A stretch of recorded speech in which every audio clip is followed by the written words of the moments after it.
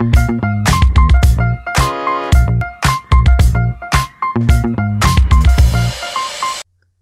guys, David McSweeney here with Ahrefs. Today I'm going to show you the process I use to analyse the anchor text of over 250 domains in my recent study of keyword usage in anchor text.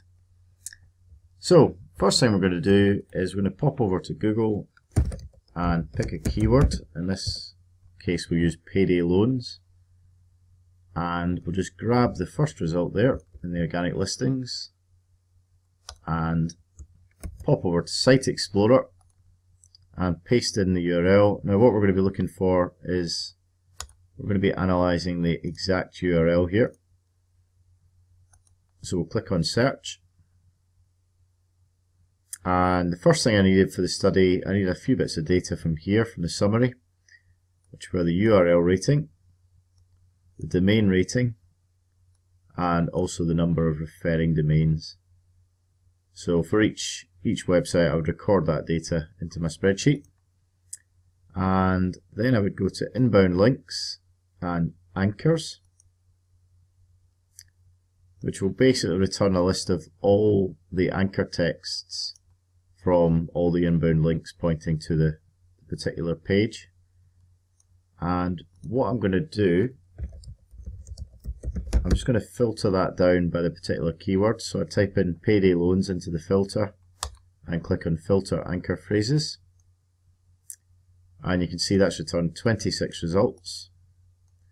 Now the first thing I need here is to record the number of exact match anchors. So an exact match anchor is when the phrase appears with no other other words in the anchor. So in this case there's 13 exact match and there's 13 do follow exact match. And in fact there's no no follow uh, exact match links there we can see. If there was that number would be higher so that could be if that was 25 for example that would tell us there were 12 no follow exact match links so once I've recorded that information the next thing I need to do is record the number of phrase match links which would be all these ones here now I could just go down and count these up, but to make things a little easier for myself, what I can do is just export that out. And if I click on here, quick export, which is fine because there's, there's not that many rows. And click on that and that should open up. Pop over to OpenOffice. I can just open that up, I'll just make it a bit smaller so you can see it.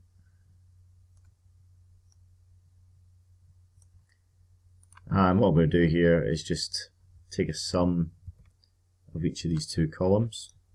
And for the second one, I'll just deduct off the number of do follow links from the total referring domains, which will give us the no follow.